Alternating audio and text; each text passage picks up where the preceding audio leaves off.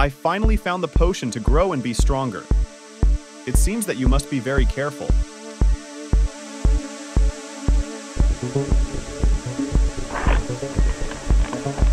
Wow, my chest looked like two melons.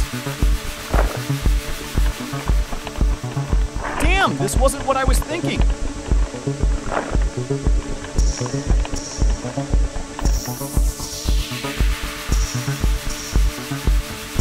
Gosh, it's not what I thought, but I'm satisfied with the result.